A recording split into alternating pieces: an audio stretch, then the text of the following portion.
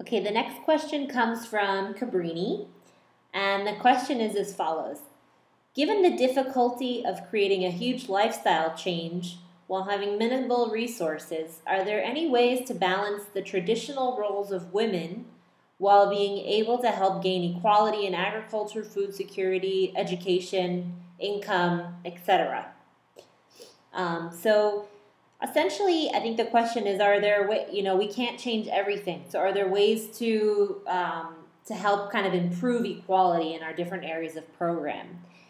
And here in Zambia, I can speak for the fact that um, on CRS as a whole, our our experience has been that when when we can help community members um, open up a dialogue about gender roles and um, explore and realize and look at the fact that um, when there is gender inequity, it negatively uh, impacts the household's food and economic security.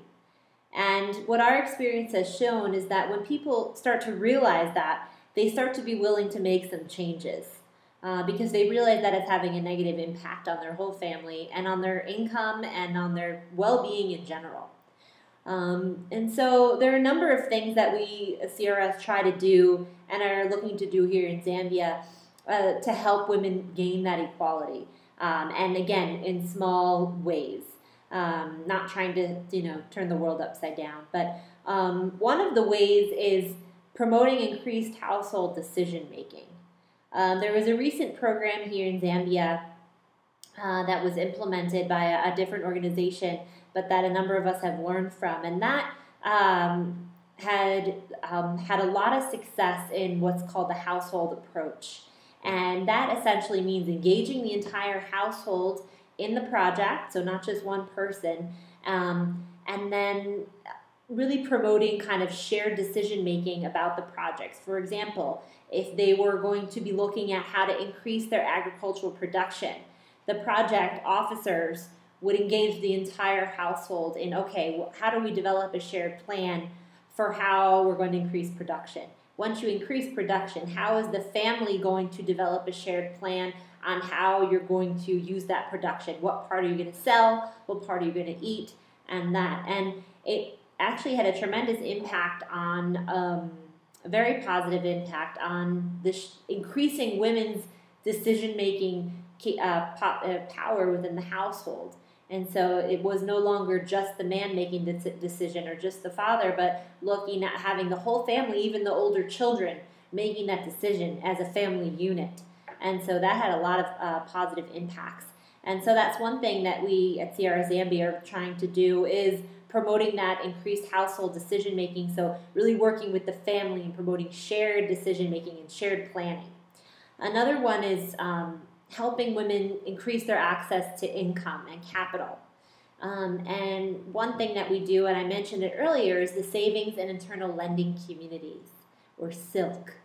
And that has, has a lot of success around the world and also in Zambia in, in increasing women's access to income. Because we know when women have more income, they're going to spend it on uh, things that benefit their family and their household. And so that has had a lot of positive effects in terms of um, increasing women's access to income and resources. Another one, um, another thing that CRS Zambia looks at to you know increase women's equality within the different sectors is looking at their their labor burden. And one of the projects that we're working on that I'll talk about shortly um, is um, and is an agriculture project, and we're looking at what is women's labor burden and how can our project decrease that burden. So, how can what we propose as interventions decrease that burden?